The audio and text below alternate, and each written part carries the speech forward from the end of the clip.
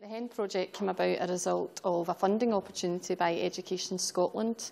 When we realised that there was funding available, we sat down as a kind of smaller group within the staff to look at ideas of how we could develop food education with children and also to take that more innovative approach with the aim of engaging more learners.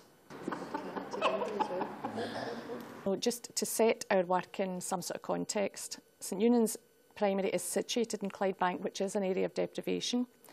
And if we look at the Scottish Index of Multiple Deprivation, um, we see that 60% of our children actually live in the bottom, the lowest two deciles. And I do mention this purely to set our work in context. We never use it as an excuse, it's, it's there.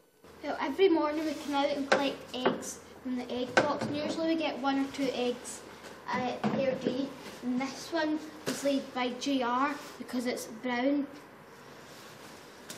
And then this was laid by Betty because it's smaller and lighter. And then this one was probably laid by Bonnie because it's bigger and lighter. I think this project ties in really, really closely with learning for sustainability and the agenda. I think it meets many of the different aspects.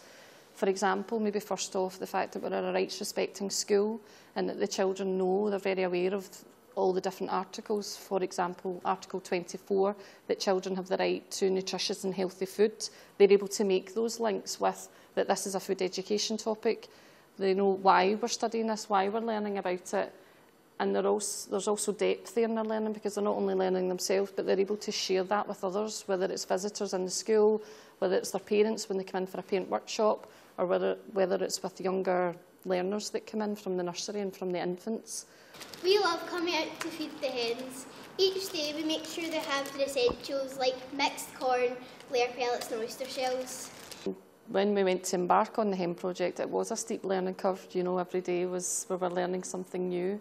And what we did was we looked for support from other people who'd kept hens, so working closely with the farm and using them as a kind of sounding board and as a support.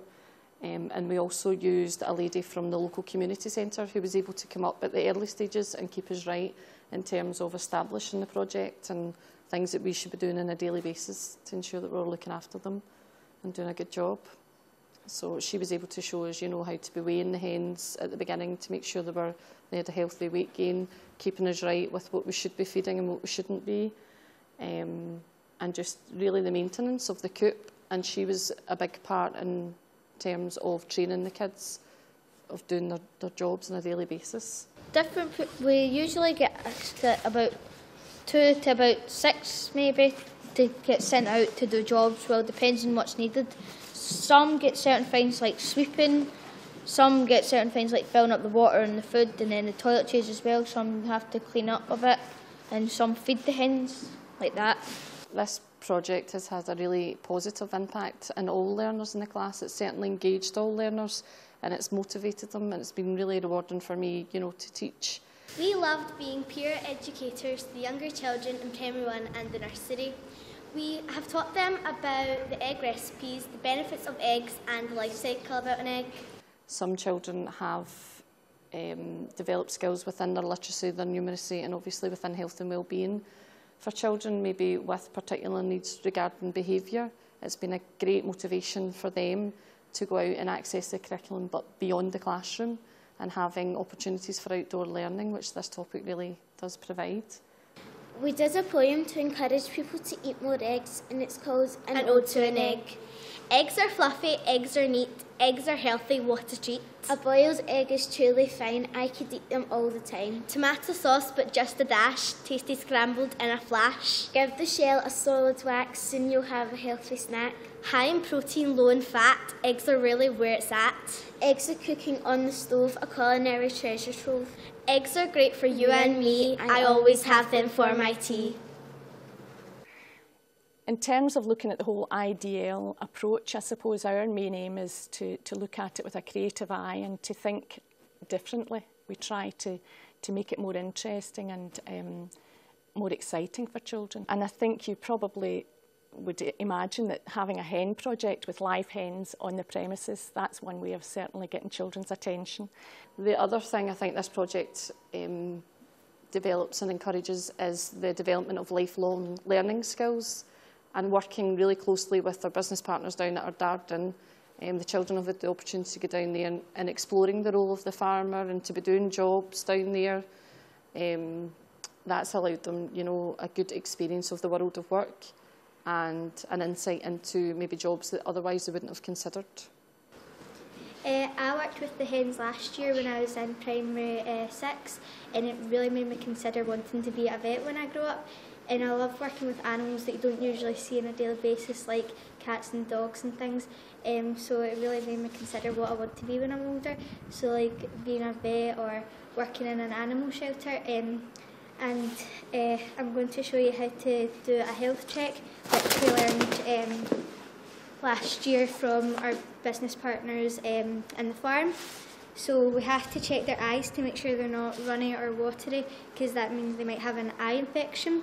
And we need to uh, check their wattles and their chromes to make sure um, that they're not getting too dry when it's cold.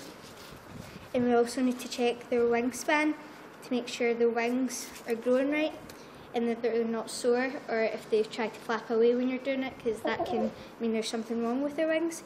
And we also need to check their skin to make sure they've not got mites. And if they have got mites, we have things that we put in their wood chips to stop them coming again. Um, and we also learned how to uh, flip them, but they don't really like that. But you flip them to check their breastbone to make sure um, they've not got a blocked egg because that can be quite dangerous and quite painful for the hen. Um, and we also have to check their beak to make sure it's not getting wear down because when they're uh, eating off the ground with the mealworms and things, it can wear it down. It can get uh, it can be quite sore. And we also need to check their nose to make sure that's not runny. I suppose if you look at our journey in terms of sustainability, um, learning for sustainability, that has taken us to get to this point is probably five years. So I think for people starting out, if they have a time scale on it. It's not something that has to be completed in three terms or four terms. It's something that you have a longer term plan for. And that, I think, takes the fear out of it because you can then do it in small steps.